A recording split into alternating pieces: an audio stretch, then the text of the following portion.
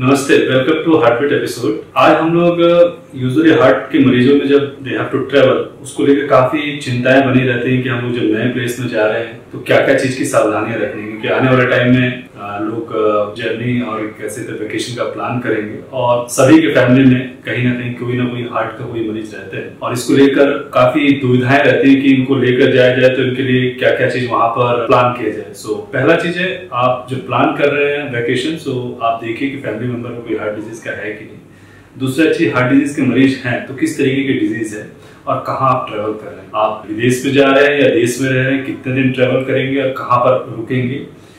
जो एक बहुत इंपॉर्टेंट चीज़ रहती है जो हम सभी लोगों को जानना रहता है कि हम लोग जो जिस जगह पर रह रहे हैं और जिस जगह पर जा रहे हैं, दोनों का लोकेशन पॉइंट ऑफ़ व्यू मान लीजिए आप देश से विदेश जा रहे हैं, जहाँ पर टेम्परेचर जो रहता है थोड़ा सा लो रह रहा है, काफ़ी लो रहता है, जिसके लिए आप एक्सपोज नहीं है पर्टिकुलरली जो हार्ट के मरीज़। ये उनके लिए थोड़ा सा प्रॉब्लमेटिक हो सकता है, इसलिए उसके लिए प्रिपरेशन करके जानी है और प्रिपरेशन करके जानी है मतलब आपको क्या क्या चीज़ साथ में रखना है, इसके बारे में जानना है। अगर आप देश में जा रहे हैं तो भी ये सारी चीज़ें एप्लीकेबल रहती हैं। और उसमें हम लोग जस्ट डिस्कस करेंगे ये क्या क्या चीज़ें रहती रहती हैं, जिसके बारे में हमको बिफोर जर्नी पता रहनी चाहिए।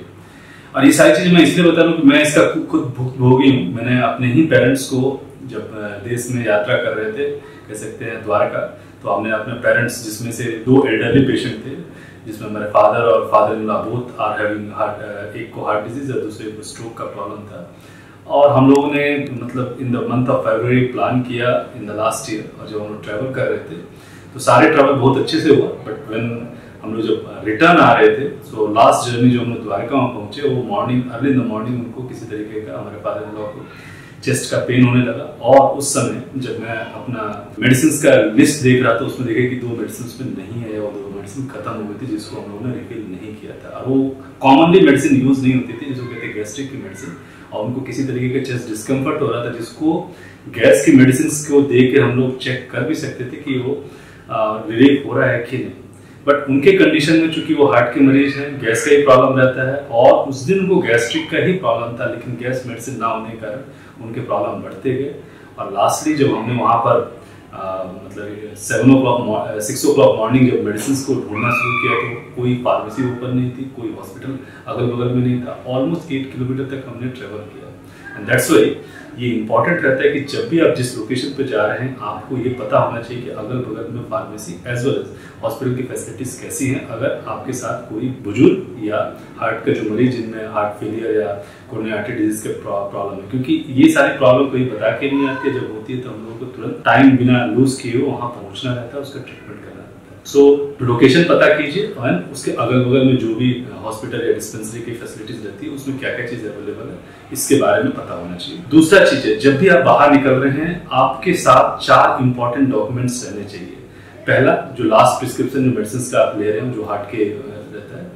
दूसरा आप कभी भी हॉस्पिटल में एडमिशन हुए हैं तो आपका लास्ट डिस्चार्ज डिस्चार्ज के टाइम में क्या मेडिसिन और क्या डायग्नोसिस बनाएँगे तो बहुत इंपॉर्टेंट उसमें बहुत सारे वाइटल इन्फॉर्मेशन रहते हैं। जब आप किसी भी डॉक्टर के पास जाते हो, वो पुराने रिकॉर्ड को देख के आगे का ट्रीटमेंट प्लान करता है और उसमें अपने रिस्क फैक्टर्स को डिसाइड करते हैं कि इनमें क्या क्या चीज़ हो सकता है। कुछ फैसिलिटीज़ नहीं रहती जहाँ पर ये सारे इन्वेस्टिगेशन ही आपको हेल्प करते हैं कि पेशेंट का डायग्नोसिस क्या क्या हो सकता है। तीसरा, अगर आपको हार्ट में हार्ट में किसी तरीके का डिवाइस इम्प्लांटेशन हुआ मतलब पेस मेकर आईसीडी सीआरटी हुआ है तो उसका warranty card as well as documents रहने चाहिए। ये आपको एयरपोर्ट एज वेल एज जहाँ कहीं पर भी जाते हैं, अगर इमरजेंसी पड़ती है तो ये डॉक्यूमेंट आपको हेल्प करता है कि किस कंपनी का डिवाइस था और इसको किस तरीके से चेक किया जाए अगर मान लीजिए डिवाइस रिलेटेड प्रॉब्लम आ रहे हैं तो। एंड फाइनली इमरजेंसी मेडिसिन आपके साथ हमेशा रहनी चाहिए, क्योंकि कुछ जगहों पर, जैसे खासकर हिल स्टेशन पर, लोग बहुत हेल्दी रहते हैं। उनकी जगह पर हॉस्पिटल भी बहुत कम होते हैं फार्मेसी भी बहुत कम होती है। और कभी कभी फार्मेसी रहती भी है तो उसमें सारी मेडिसिन नहीं रहती है। सो आप अपनी मेडिसिन अपने साथ रखिए। जिस तरीके से आप पानी का बोतल लेके पूरे हर जगह जाते हैं, अपने खाने, पीने और सब चीज़ें, आप पहले से ही प्लान कीजिए कि इमरजेंसी मेडिसिन आपके साथ में हो। अब उसमें इमरजेंसी मेडिसिन में क्या क्या रख सकते हैं? तो उसमें होता है एस्प्रिन मतलब जो हार्ट अटैक के मरीजों में हम लोग देते हैं। दूसरा रहता है गैस की मेडिसिन क्योंकि गैस का पेन और हार्ट का पेन में बहुत ज़्यादा डिफरेंस नहीं रहता है कभी कभी खासकर एल्डरली पेशेंट्स में। तो उसको रखना चाहिए और खासकर जब आप दूसरी जगह पर खा पी रहे हैं तो आपको गैस्ट्रिक का प्रॉब्लम हो सकता है। और इसको प्रिवेंशन के रूप में भी स्टार्ट कर सकते हैं when you are going to the new place क्योंकि आपको लगता है कि आपका यहाँ पर खान पान में गड़बड़ होगा बेटर है आप गैस्ट्रिक मेडिसिन ले लें उस पर्टिकुलर टाइम को टाइड ओवर करने के लिए सो so दैट आपका ये कंफ्यूजन और ये प्रॉब्लम ना इरप्ट करे ड्यूरिंग द वेकेशन टाइम क्योंकि सारा वेकेशन आपका धरा का धरा रह जाएगा। अगर मान लीजिए किसी एक मरीज़ को उस समय या आपके फैमिली मेंबर किसी उस तरह सीने में भारीपन या गैस का प्रॉब्लम हुआ, आप डिफ्रेंशिएट नहीं कर पाएँगे और फिर आपको डॉक्टर्स के पास जाना पड़ेगा, जो कि बहुत सही नहीं है वेकेशन के टाइम में। सो इसको प्रिवेंट किया जा सकता है। जब आप देख रहे हैं कि खान पान में जो भी चीज़ आप नहीं खाते, उसको कभी भी वेकेशन के टाइम में एक्सपेरिमेंट मत कीजिए। जो चीज़ आप दिनचर्या अपने घर पर करते हैं अपने प्लेस में करते हैं। सेम थिंग को कोशिश कीजिए उस जगह पर रिपीट करेंगे इंक्लूडिंग योर डाइटरी हैबिट जहाँ कहीं भी पॉसिबल फाइनली आप जब हिल स्टेशन में जाते हैं, खासकर कार्डिक मरीजों के लिए, आप जा सकते हैं। ऐसा नहीं कि नहीं जा, जब आप फ़्लाइट पकड़ सकते हैं तो वो भी जा सकते हैं। लेकिन वहाँ पर ये ध्यान रखिए, कुछ प्लेसेस रहते हैं जहाँ पर ऑक्सीजन का लेवल काफ़ी कम रहता है। वहाँ पर आपको जब असेंड करना तो भाई आप जो कहते हैं, अपनी गाड़ी अगर बुक करके जा रहे हैं तो आपको बीच बीच में स्टे करके जाना चाहिए। एक बार में पूरी ट्रेवल नहीं करनी चाहिए। स्टे करने से आपकी बॉडी एक्लमेटाइज होता है, हम लोग कहते हैं कि आपका जो ऑक्सीजन का जो डिमांड्स जो प्लेसेस के अनुसार चेंज है तो उसमें बॉडी को टाइम मिलता है अपने आप को चेंज करने के लिए, उस वातावरण के लिए। सो वो चीज़ को ध्यान में रखना है। और जहाँ पर ऑक्सीजन का लेवल कम है, जैसे आप अगर मनाली जा रहे हैं, वहाँ पर लाहौर और स्पीति एक जगह है। आप उस एरिया में कार्डिक मरीज़ को ले जाने की ज़रूरत नहीं क्योंकि वहाँ पर ऑलरेडी ऑक्सीजन नॉर्मल आदमियों को ऑक्सीजन का प्रॉब्लम होता है।